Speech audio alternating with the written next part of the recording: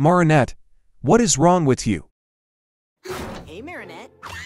I have How's tried to talk to you. After what happened at your place last night. I came to see I you. caught it a while ago, Marinette, so I'm safe. Adrien?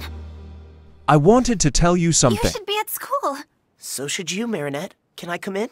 I'm sure I have could tried to understand listen if you and let you talk. Just explain things to me. We have to. I don't care, confess my Marinette. love for I you. love you just the way you are. I And don't you broke my heart. you. I've had feelings for you, Adrien, but I don't anymore. It's better that way.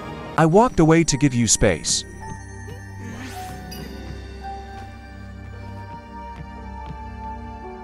I feel like we've missed out on something, don't you? Maybe. You think we'll get another chance one day? No. I gave you time to yourself even though I didn't want to. Leave you. You know, Adrien, sometimes when you want to mature a cheese the right way, Not now, Plagg.